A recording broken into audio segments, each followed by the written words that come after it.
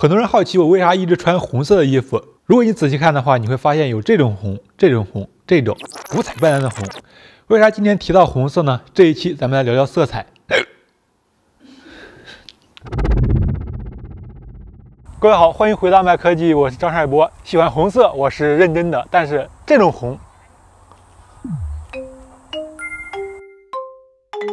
不能说丑吧，我是真心喜欢不起来。哎，我就不明白了，究竟是古人的审美有问题，还是我有问题？有人说世界上没有丑颜色，只有没有用对地方的颜色。啥意思呢？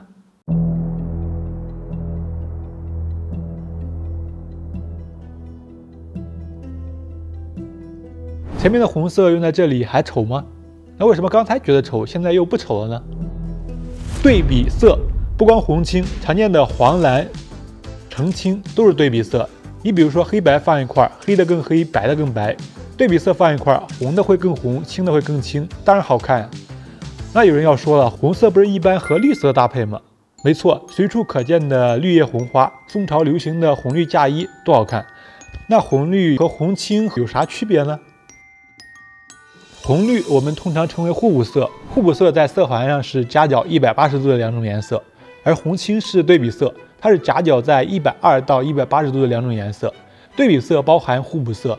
反正你就记着，只要是对比色，对比都挺强烈的。不过呢，物极必反，对比太强就 辣眼睛了。你比如说早年的朋友圈，早年的电视剧。小师妹，你终于来了。那怎么弱化对比呢？很简单，既然一百二到一百八十度是对比色，那剩下的不就不是对比色了？你比如说红黄、黄绿。搭配起来就没有前面那么刺眼，这种呢我们叫临近色，顾名思义挨得比较近嘛。那有人要说了，这不是不刺眼，而是不显眼了。那你要是这样比的话，确实是。但是换个方式，哎，就算是弱化对比也能鹤立鸡群。所以真的没必要卷，保持自己的差异化才是王道。上上上上上期视频我们提过灰度阶，色彩的明度对应的就是这些台阶。你比如说红色，它比较暗。夏天穿红色衣服吸热很厉害，但是黄色就不一样啊。同样是和黑色搭配，红黑就没有黄黑对比强烈。为什么呢？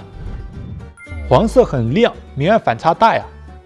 为什么前面提到的对比色很刺眼呢？你比如说黄色和紫色互补色对比最强烈了，其中有一部分原因是它俩的明暗反差太大了。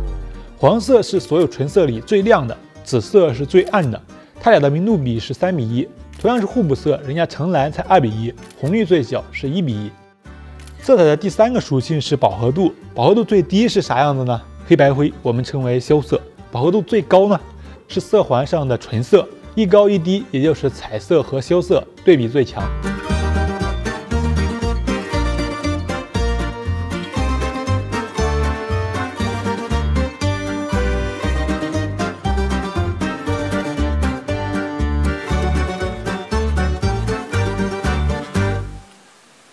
转眼入秋，大风天气很多，天空蓝的更清澈了。入秋是因为这个稿子是秋天写的，其实现在已经入冬了。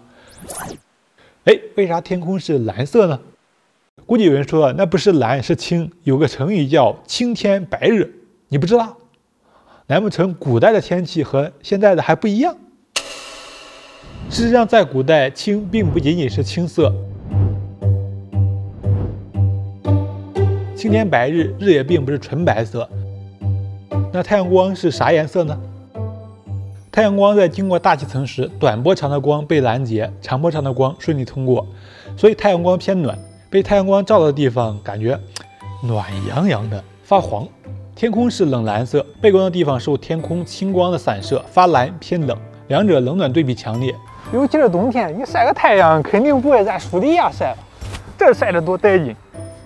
色彩会给人冷暖的感受，你比如说黄色对比蓝色，它是妥妥的暖色，但是要注意对比红色，黄色就偏冷了，所以色彩的冷暖是相对而言的。最近在装修，选木纹砖真的选的头大，好不容易选了一款，大家说太浅了，那行选个深的吧。选完了也看不出来啥效果，直到装完，哎，我才明白原来是这样的。我家的天花板是白色，加上暖黄的灯带，感觉更轻盈。地板选偏暗的木纹，感觉更扎实。啊，前面我们说过，明度是色彩的三属性之一，明度高的色感觉轻，明度低就感觉重，这样一轻一重，上下的层次才能拉开。一直穿红色出镜，如果哪天我穿烦了，我大概率会选黑色。为啥呢？因为黑色显瘦啊。那为啥是黑色显瘦，而不是白色呢？我之前分享过，我的出镜背景喜欢用蓝色，因为和我的红色相比，蓝色是冷色，它会给人后退收缩的感觉，而红色是暖色，有前进感。在红色在前，蓝色在后，会形成色彩的纵深节奏。同样道理，黑色显瘦是因为黑色最暗，给人收缩的感觉，所以显瘦，还显白。OK，说了不少啊，简单总结一下。前面呢，我们讨论了色彩的三属性：色相、明度、饱和度和三种感觉：冷暖、轻重、前进与后退。利用其中任意一点都可以做对比，但是对比太强呢，容易辣眼睛。在做对比的同时，还要做相似，把对比限定在一定的范围内。啥意思呢？比如说在色相上做对比，饱和度做相似；明暗上做对比，色相上做相似；饱和度上做对比，冷暖上做相似，等等等等。总之呢，一句话，对比和相似缺一不可。OK，以上就分享这么多，感谢各位的点赞、评论、转发、收藏，咱们下期下期，咱们咱们下期视频见。